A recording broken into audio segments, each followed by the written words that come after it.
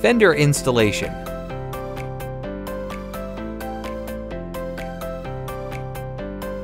Step 1. Dismount the two screws from support.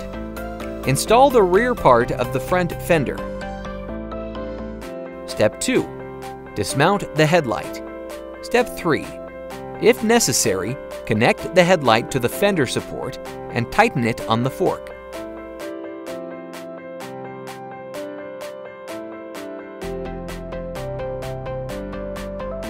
Step 4. Dismount the two screws from another support. Fix the rear fender to the support. Step 5. Fix the rear fender in the hole of the frame with screws.